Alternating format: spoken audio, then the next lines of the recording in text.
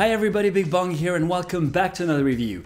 Today I'll be learning a language on a platform I already reviewed a couple of months ago called LingoPie. Back then I was using it on my laptop, but this time I'll be showing it to you on my smartphone. So let me start by introducing the concept once again. It's a video on demand platform with a large variety of movies and TV shows, but unlike other platforms that only provide subtitles, this one is really made for people like you and me who want to learn languages. I'll tell you why in a moment, but before that, if you want to try it simultaneously with me, LingoPie offers a 7-day free trial. So why not download it right now? Plus, if you click on the link in the description, you'll get a special discount. Alright, so if we're all set, then let's learn some languages. When I reviewed it earlier this year, the only languages available were Spanish and Russian, but now they've also added French, Portuguese, German, and Italian. And I know for a fact that they're also working to add Japanese, Chinese, and Turkish. So I've just launched the app, and here is my homepage with my progression at the very top. I'm currently level 2, and soon level 3 as my experience bar is almost full. Below that we can see the watch time in minutes, the words I've clicked on in the subtitles, and the words I learned on flashcards. Then there is the list of shows I'm currently watching, and down below, all the content available on the platform organized by categories. What's really awesome is that one of the first things you'll see is the flag of the country where the movie was made. That's very useful because as you know, Spanish for example, is a language that has very different accents and dialects depending on where you are in the world. And if you're planning a trip to Spain, you might want to watch some Spanish content. But if you're going to Argentina, it's a completely different accent, so it really depends on your preferences. Before we start, let me show you briefly how the app works. So you can see the subtitles in the target language. I don't need the English one because I'm comfortable enough in Spanish, but just so you know you can turn it on or off. Now if you don't know a word, you can simply click on it and get an instant translation. Obviously, you can click on the sound icon to hear the word. Una vueltica. That's very useful because sometimes when actors naturally speak, uh, they don't necessarily pronounce all the words, you know,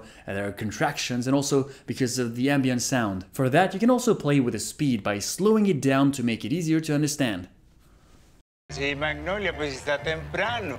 Alright, let's get down to business. So, one of the most successful methods to learn a language, according to my personal priorities as a learner who wants to speak, is called shadowing. Actually, some of you might have unconsciously done it as a kid. When you know a movie by heart and you speak as the character says the line, that's shadowing. I might go to Mexico soon, and so not only did I choose something that was in Mexican Spanish, but it's a travel vlog, so it could also help me learn words and expressions used in that setting. Alright, so let's see how it starts.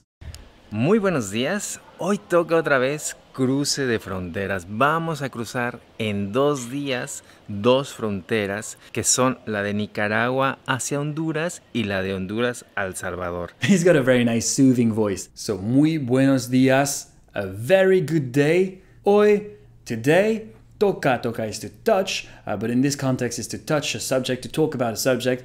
Otra vez, once again, cruce de fronteras.